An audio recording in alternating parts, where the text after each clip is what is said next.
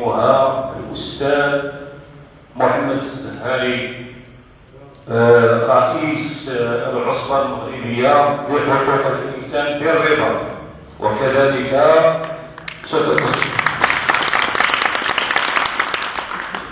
وكذلك ستتشرف الأستاذة أمينة الهواري السعودي محامية وصحفية وكاتبة.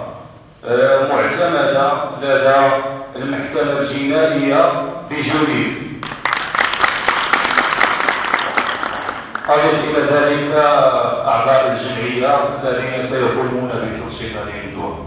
أولا وقبل كل شيء سنقوم بتلاوة آيات قرآنية. سيتلو على مسامعكم آه، العبد الضعيف أمامكم. أعوذ بالله من الشيطان الرجيم. بسم الله الرحمن الرحيم. يا أيها الذين آمنوا لا تلهكم أموالكم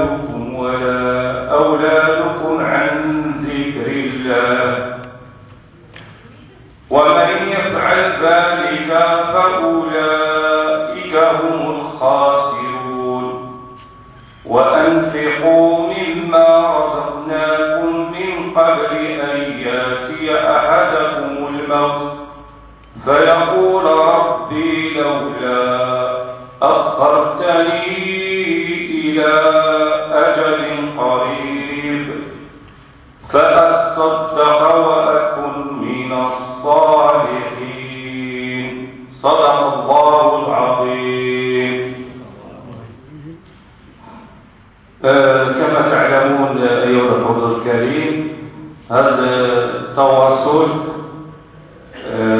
ديال اليوم هو أساسا من أجل التعريف بهذه القضية الوطنية التي عرفت مرور ذكرى 37 سنة على الطرد الذي تعرض له المغاربة الذين كانوا يقيمون بصفة قانونية بالجزائر وفعلا هذا الملف عرف مؤخرا تطور كبير.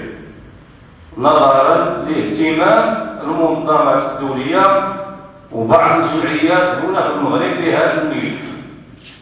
ونحن هنا اليوم من أجل التعريف بهذه الملف استضفنا الأستاذ محمد السهاري رئيس العصبة المغربية لحقوق الإنسان ليقدم آه، بعض التعريفات ويعني يقوم بتنشيط هذه الندوة.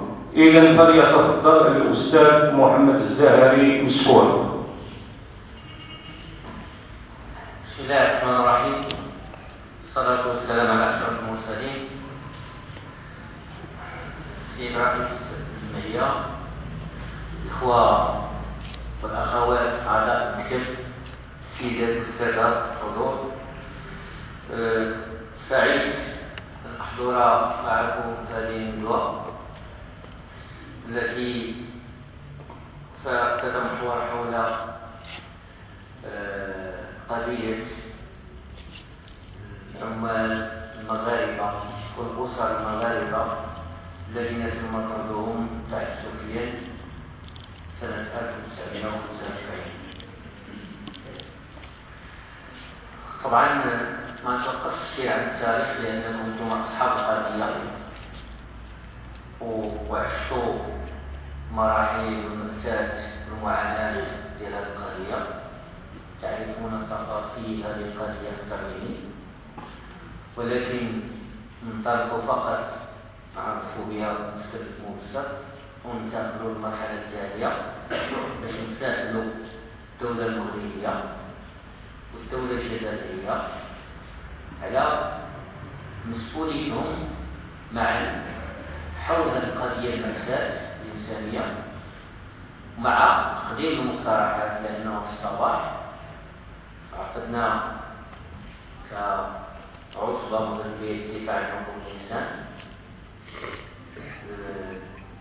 الساعة العاشرة ونصف صباحا اجتماع الأخوات الإخوان أعضاء المكتب ديال الجمعية لكي كتدافع عن القضية ديالكم واتفقنا جميع على برنامج عمل وكنقترح اقترحت على الإخوان في الجمعية أن هذا برنامج العمل المستقبلي غينسقوا فيه طبعا مع الفرع ديالنا ديال العصبه المغربيه للدفاع عن الانسان الموجود بمدينة الناظور. من أجل أن هذه المنظمه الحقوقيه الوطنية تكون قريبة منكم إلى جانبكم كاين الاخوان واخوات ديالكم في عصبه مدينة الناظور؟ اللي فيهم الإخوان الحاضرين معنا كاتب الاقليمي إلياس. باش العمل ديالنا في المستقبل يكون أكثر إفادة وجدية ويعطي نتائج ديالو هذه القضية كنعتبروها حنا كمشاطر ومسؤولين في الجمعيات الحقوقية. فسمحوا لي باش نتواصلوا غنتكلم أكثر بالدارجه وما نتكلمش باللغة العربية الفصحى لأنه باش يكون تواصل بيننا كثير.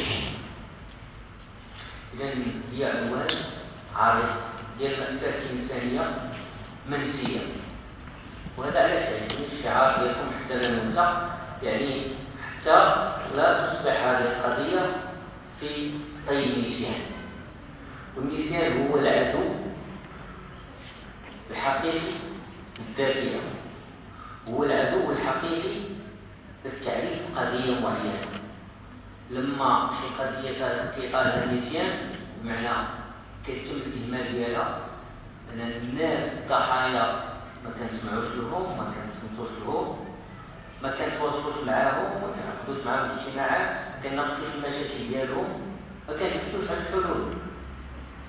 اذا هذه القضية الانسانيه تساعد الدولة المغربية اولا لاننا حنا خصنا ننشروا الخطاب ديالنا يكون واضح إلى المسؤولين المغاربة وتساعد الدولة الجزائرية باعتبارها الدولة المسؤول على الوضعية.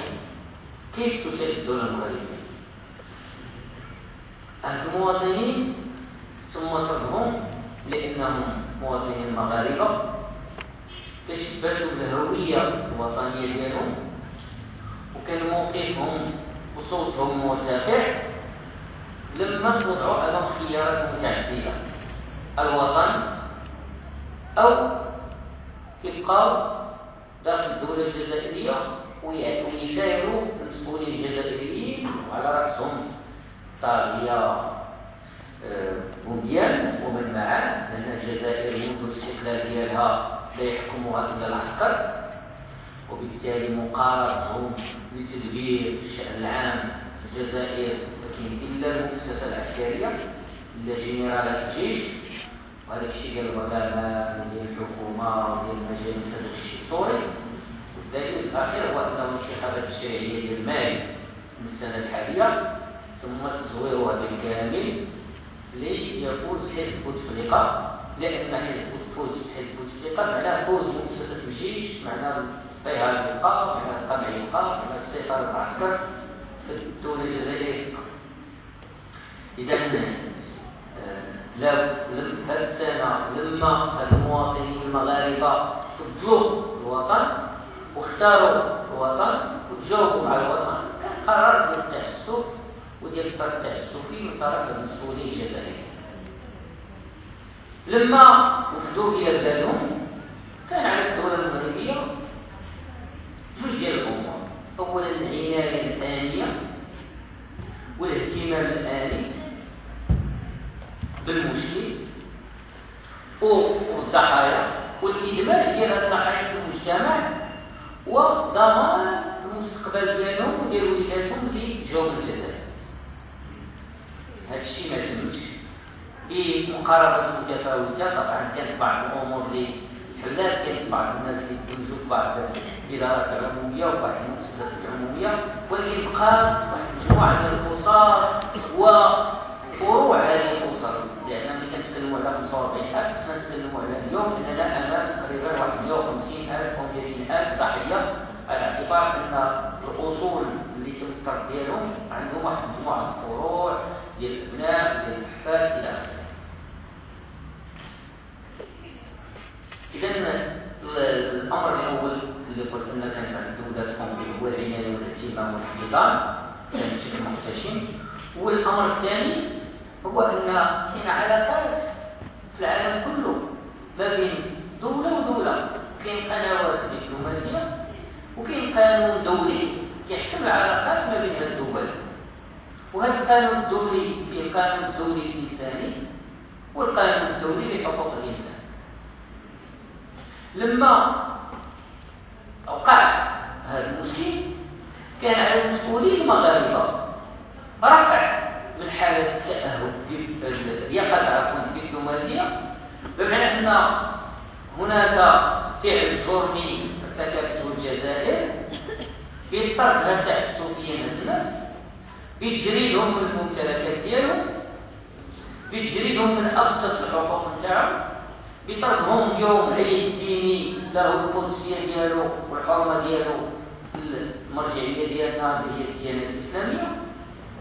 تم فصل العديد من الأسر فيما بينهم فصل الزوج عن الزوجة وأحيانا الاب الأبناء عن الآباء والاصهار فيما بينهم وهذه ماساه انسانيه اذا رفع درجة اليقظة الدبلوماسيه لم يتم من طرف المسؤولين واستعمال القانون اللي تكلمت عليه لم يتم من طرف المسؤولين هذا الأمر تعتبر في وجهه نظرنا كحقوقيين أنه تخلي عن واجب الدولة تجاه المواطنين ديالها وهذا الأمر حكمته السياقات السياسية اللي كانت هو أن في تلك الفترة حسن الثاني لما آه آمر ودعا إلى تنظيم المسيرة الخضراء إلى رجعنا التاريخ السياسي اللي كيحكم الجزائر علاقه بين الجزائر والمغرب. غنعرفوا بأنه الهواري بومديان اعتبر بأن المسيرة الخضراء هي ضربه موجعة للجزائر. وهو افشال الدبلوماسية الجزائرية اللي كانت كتهيئ قيام دولة الصحراء المغربيه في الجنوب وتزويدها